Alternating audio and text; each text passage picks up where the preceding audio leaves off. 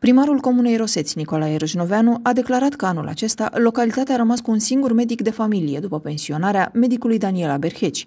Edilul a solicitat sprijinul Direcției de Sănătate Publică și al Casei Județene de Asigurări de Sănătate Călăraș pentru găsirea unui nou medic pentru cei peste 6.000 de locuitori.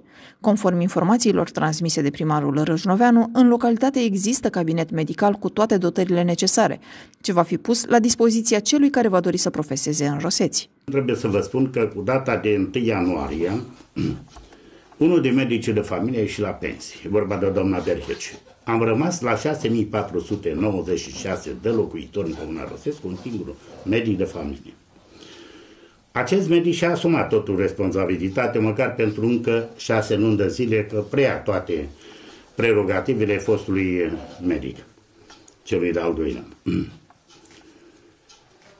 Cât privește și am insistat atât la Casa de Sănătate, cât și la Direcția de Sănătate Publică și la Colegiul Medicilor, că atunci când se ivește cineva doritor care ar vrea să ocupe acest, uh, această funcție la nivel de Comuna Văseți, să găsește oricând această posibilitate, are cabinet, cabinetul fostului medic care a ieșit la pensie, deci are condițiile necesare la noi decât el trebuie să-și, să-și facă toate uh, uh, tot ceea ce trebuie să facă în acest sens, toate demersurile. Toți, atât Direcția de Sănătate Publică, doamna Trică, cât și Colegiul Mediu, cât și uh, uh, Casa de Sănătate, au promis că mă sprijină în acest sens.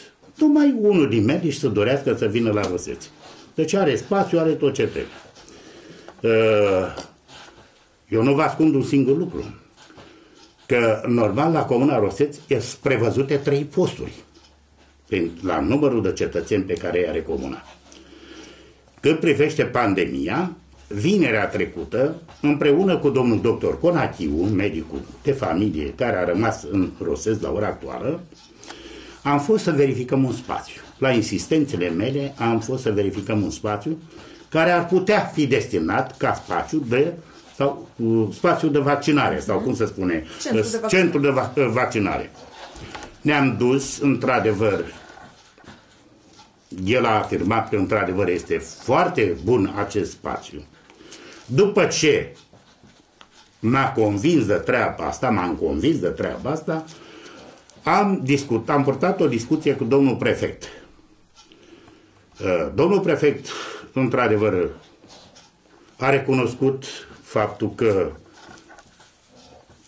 ne ocupăm de această treabă îndeaproape și a spus că să o facă diligențe pe lângă cine trebuie în așa fel încât ne-a promis să rezolve treaba cu acest centru de vaccinare la Roseți. Am toate condițiile acolo. Bun. Și suprafețele necesare. Cu sală de vaccinare, cu sală de uh, uh, înregistrat, uh, cu Uh, sală de așteptare cele 15 minute, cu tot ce trebuie, grup sanitar, o altă ieșire, nu se suprapune in, in, uh, spațiul de ieșire cu, cu spațiul de intrare. Deci condițiile ar fi. Am dat telefon la Direcția de Sănătate Publică, unde mi s-a comunicat că am fi arondați cumva la Borcea. Da, asta e situația.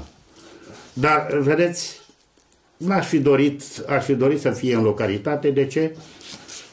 E o localitate mare și uh, oamenii din, uh, din Rostețe e greu ca să ajungă până la Borcea. Nu știu cum va fi.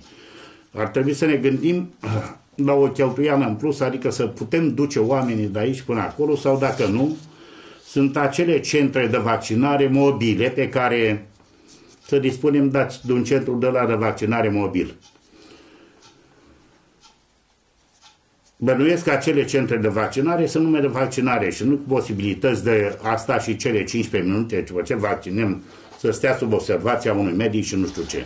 E, în condițiile astea, un centru de la mobil își face datoria foarte frumos la Căminul Cultural. Avem acolo o sală unde de așteptare, unde poate să stea 15 minute fiecare pacient după care printr-o altă alt spațiu de evacuare, deci se poate rezolva această treabă. Uh-huh. Și aici, ca să nu mai, că sunt oameni bătrâni, oameni cu probleme care nu o să ducă acolo să vaccineze. Și tocmai ăștia, acum în faza a doua, trebuie să vaccinăm, să-i vaccinăm. trebuie să ne gândim și la acest aspect. Adevărul e că eu nu am decât un mijloc de deplasare ca să mă implic în această treabă cu deplasarea oamenilor până acolo. Dar și acolo trebuie o organizare, dacă ar fi, de exemplu, la Borge. Adică să mi se comunice zilele în care pot să vin cu oameni. Dar atunci, în zilele alea, nu mai vaccinează într-altă parte, vaccinează pe ai mei ca să putem să rezolvăm treaba. Nu știu cum va fi. Dar noi ne dăm stăruința ca să venim în sprijin a tot ceea ce este bun pentru cetățenii Comunii Roseci. Și asta e un lucru care ne privește pe toți.